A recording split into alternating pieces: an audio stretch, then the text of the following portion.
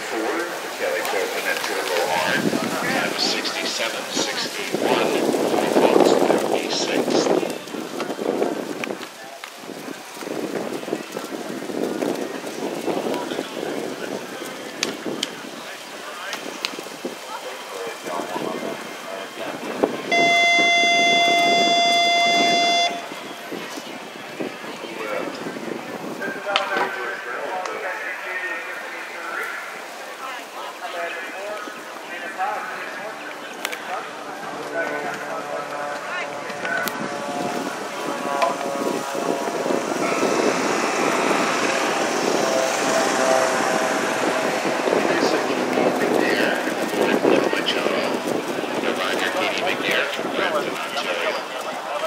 676 John.